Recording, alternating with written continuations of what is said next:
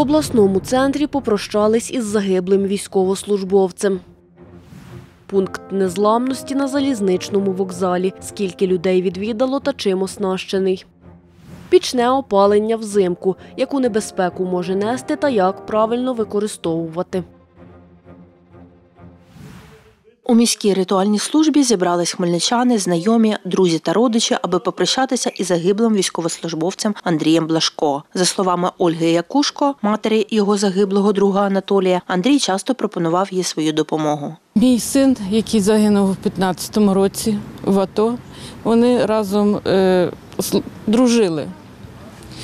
У них навіть день народження був один. Він, е, Андрій родився в 88-му році, 24-го, а мій син 87-го, 25-го. Е, І вони завжди разом святкували день народження. Як діти були, дружили разом, збиткували разом, все робили разом. Я його зустріла, він на зупинці обняв і кажу, Андрійко, що ж ти так торопишся? А я хочу відмстити за Толю.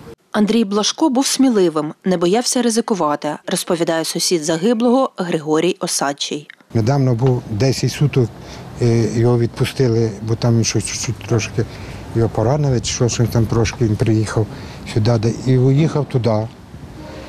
О, він пішов на передову. Він безстрашний, кажуть, оці ребята. Бо ти си воскресіння, життя і спокій, спочило обієно воїна Андрія Христе Боже наш. Андрій Блашко загинув місяць тому, 22 вересня, у Запорізькій області, розповідає його цивільна дружина Альона Лапко.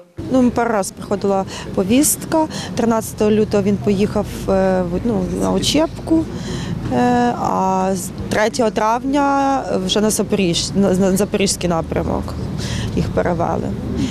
І так і він там і загинув. Він перший вийшов з окопу, градом накрило. е, І надію, що смерть його була миттєва, що він не мучився. Ось і хлопці його ну, ну, відтащили, скажімо так, і щоб потім була можливість його забрати.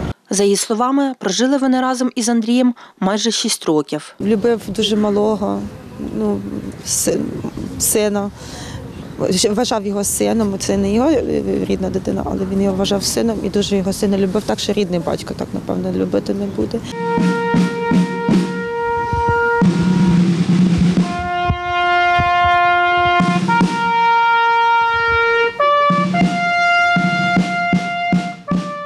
Поховали військовослужбовця на алеї Слави, що у мікрорайоні Ракове. Наталя Сідова, Олександр Горішевський, Суспільне новини, Хмельницький.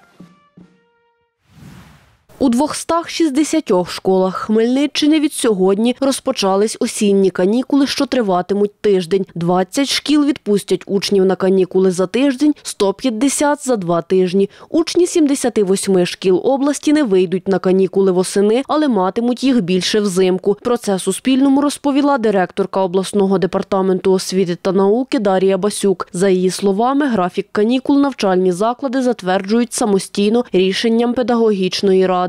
При цьому враховуються перш за все рекомендації Міністерства освіти і науки, яким визначено, що протягом навчального року 30 календарних днів це дні для відпочинку.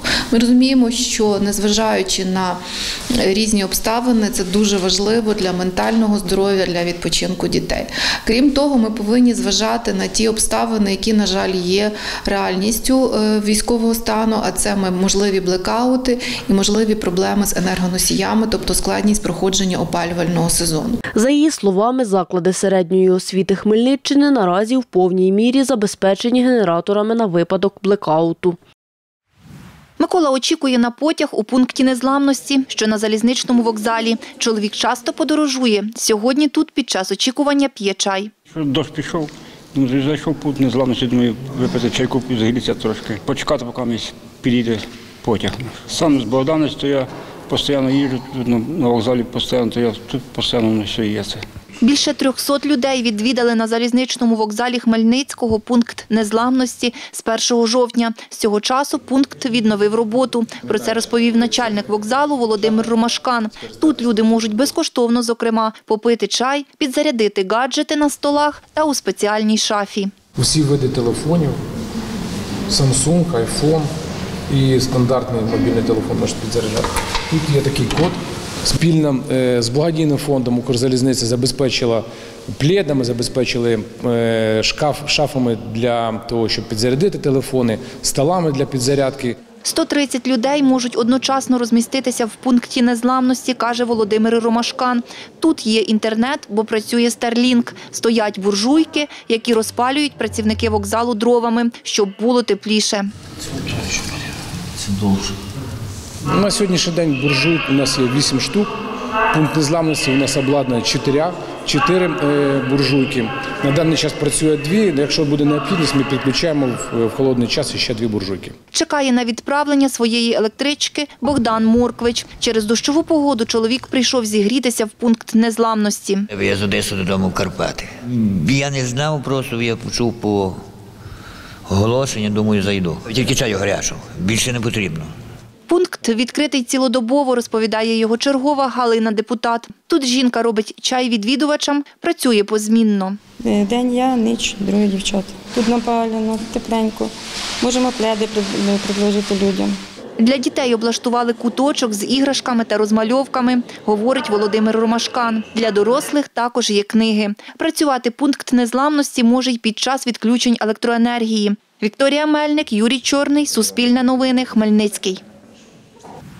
Сім тисяч разів скористались послугами громадської пральні жителі Хмельницького та вимушені переселенці, яких було найбільше з усіх відвідувачів. Про це Суспільному розповів директор підприємства Віталій Присяжнюк. За його словами, громадська пральня працює у приміщенні лазні номер 1 Послуги пральні для внутрішньопереміщених осіб безкоштовні. Через це вони частіше приходять прати речі, ніж місцеві, каже Віталій Присяжнюк. Проте з початку року платні послуги надавали більше 700 разів. Це прання одягу, послуга сушки та використання капсули для прання. За виручені сплати кошти закупили додаткову пральну та сушильну машини. Працює громадська пральня з четверга по неділю з 8 до 20 години.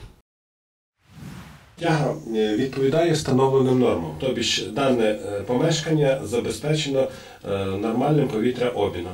У Хмельницькій громаді працівники Державної служби з надзвичайних ситуацій перевіряли готовність до опалювального сезону житло мешканців, які обігріваються групками. Контролер пічного господарства Павло Щербицький називає основні причини отруєння чадним газом при експлуатації пічного опалення. Перш за все, е, значить, оцей шибір, е, значить, е, господарі його закривають, коли ще йде процес горіння, і через нещільні отвори в приміщення йдуть значить, гази в шибері.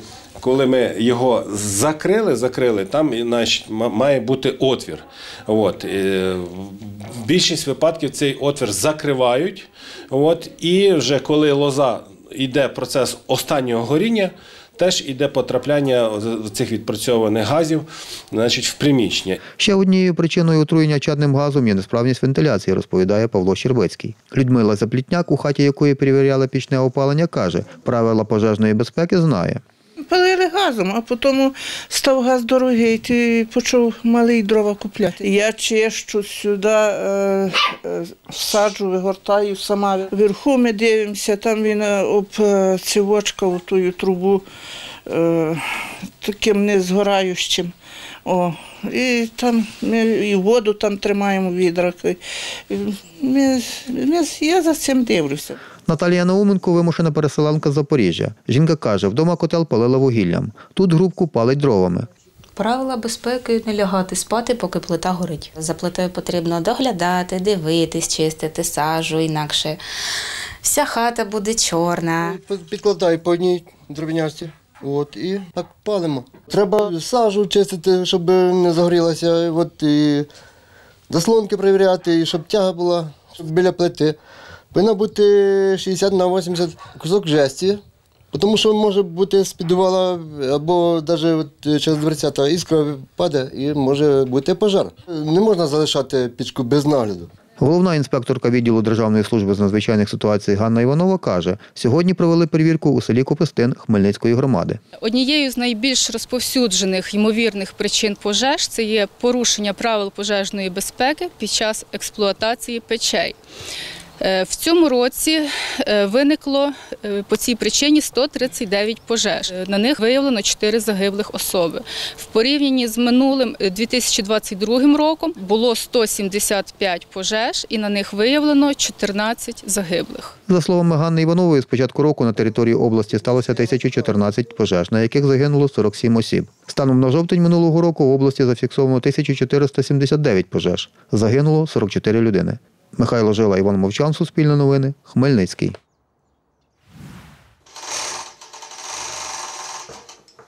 Хмельничанка Тетяна Зінченко у вільний від роботи час шиє одяг для українських військових, які перебувають на лікуванні в медзакладах. Наразі доробляє футболку з боковими застібками. Через голову вони одівають, а тут вже можна ну, навіть лежачим вдіти.